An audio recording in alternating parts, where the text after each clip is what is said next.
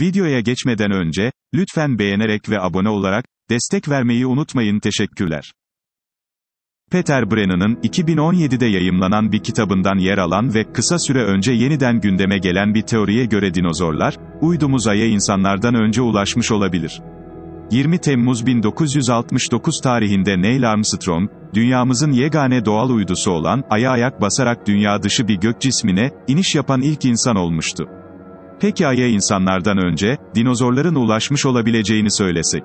Popüler bilim yazarı Peter Brannen, 2017 yılında yayımlanan Dünyanın Sonları, Volkanik Kıyametler, Ölümcül Okyanuslar ve Dünyanın Geçmişini Anlamaya Yönelik İsteğimiz, adlı kitabında yer verdiği bir teoride, dinozorların insanlardan önce Ay'a ulaşmış olabileceğini öne sürüyordu. Geçtiğimiz günlerde, spor yazarı Barry Pecheski'nin bu teoriyi, bir kez daha gündeme getirmesiyle, yeni bir tartışma başladı. Bildiğiniz üzere dinozorlar, dünyaya devasa bir göktaşının çarpması sonucu, yok olmuşlardı. Brennan'ın iddiasına göre, dinozorlara ait kalıntılar, söz konusu göktaşı çarptığında, kaya parçaları ile birlikte uzaya saçıldı ve, bunlardan bazıları aya kadar ulaştı. Peki bu teorinin, gerçek olma ihtimali bulunuyor mu?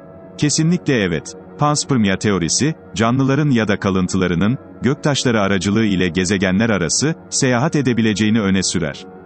Örneğin, dünyaya çarpan bir göktaşı, buradaki canlı örneklerinin uzaya saçılmasına ve başka gezegenlere ulaşmasına neden olabilir. Hatta aynı teoriye göre dünyadaki yaşam, Mars'a çarpan bir göktaşının oradaki organik maddeleri dünyaya taşıması sonucunda ortaya çıktı. Yine de Peter Brennan'ın teorisinin, şu an için yalnızca bir iddia olduğunu söyleyebiliriz. Zira insanlık, onlarca yıldır ay üzerinde keşifler gerçekleştiriyor olmasına rağmen, dinozor kalıntılarının Ay'a ulaştığına dair, herhangi bir kanıt bulunamadı. Yine de bu durum, bir gün ayın karanlık bir köşesinde, dinozor fosili keşfedilemeyeceği anlamına gelmiyor. Siz bu ilginç gizemli teori hakkında, neler düşünüyorsunuz dostlar?